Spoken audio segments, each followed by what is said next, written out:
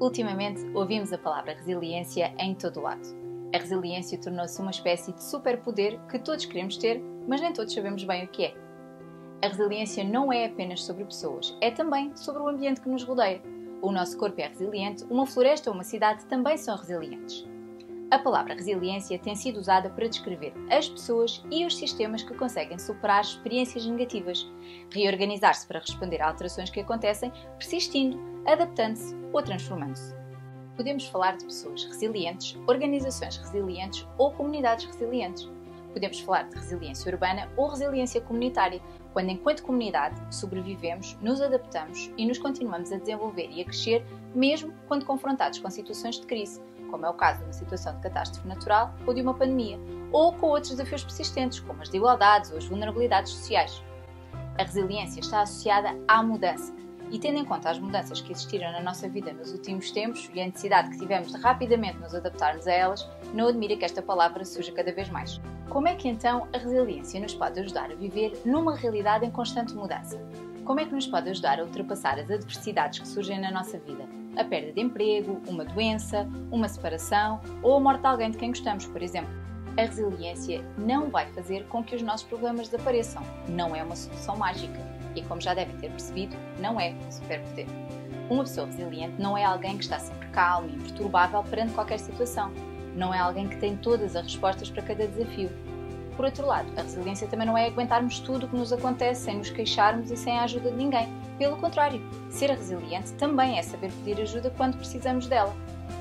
O que a resiliência pode fazer é ajudar-nos a lidar melhor com o stress das situações difíceis e a aproveitarmos as coisas boas da vida, mesmo quando há aspectos que correm mal. Continuamos a sentir-nos zangados, a estar tristes, a sofrer, a sermos vulneráveis, mas somos capazes de continuar a funcionar no dia a dia e a fazer coisas que nos deem prazer, mantendo o nosso equilíbrio.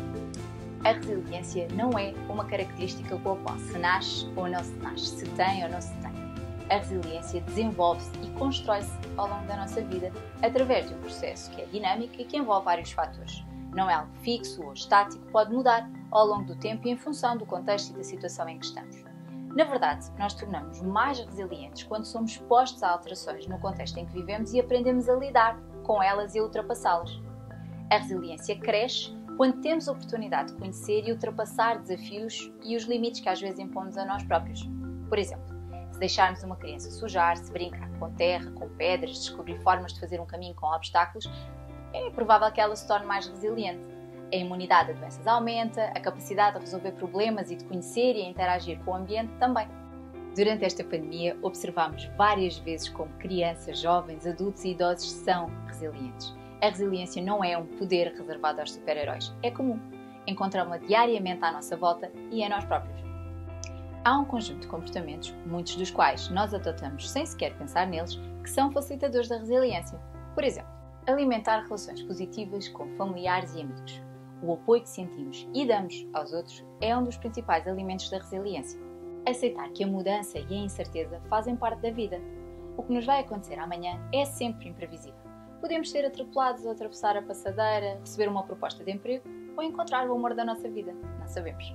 Encontrar significados fazer coisas que diariamente dão sentido à nossa vida. Não precisam de ser coisas espetaculares, bastam ser coisas que façam o nosso dia valer a pena. Entregar um projeto importante, brincar com o nosso filho ou dar um concerto no banho. Reconhecer e aprender com a nossa própria experiência. Todos nós já passámos por momentos difíceis. Que estratégias e competências usamos para os ultrapassar? Como podemos adaptar essas experiências aos desafios atuais? Cuidar do nosso bem-estar. Respeitar as nossas rotinas de sono e descanso manter uma alimentação saudável, fazer exercício regularmente e fazer coisas que nos deem prazer. Cuidar da nossa saúde psicológica, prestar atenção aos nossos sentimentos e às nossas necessidades. Recorrer ao humor sempre que possível. Rir diminui o stress.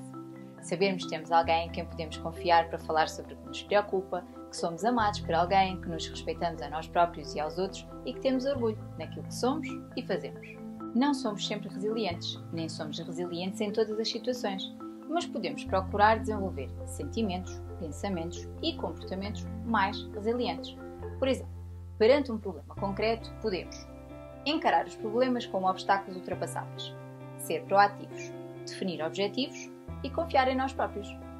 Os pais e os cuidadores também podem promover a resiliência das crianças e jovens simplesmente por lhes proporcionar relações de amor, confiança, aceitação, por lhes darem oportunidades de autonomia, permitindo-lhes mostrarem-se responsáveis e por definirem regras e rotinas claras. Os pais e os cuidadores servem como modelos. As crianças também podem imitar os comportamentos resilientes dos pais, como a gestão emocional de uma situação, a resolução de um problema, cometer erros e aprender com eles, ou ter uma atitude confiante e otimista. Tornar-nos mais resilientes na nossa vida pessoal ou profissional requer tempo e prática, tentativa e erro. Se não sabe por onde começar ou sente que precisa de ajuda, um psicólogo pode ajudar.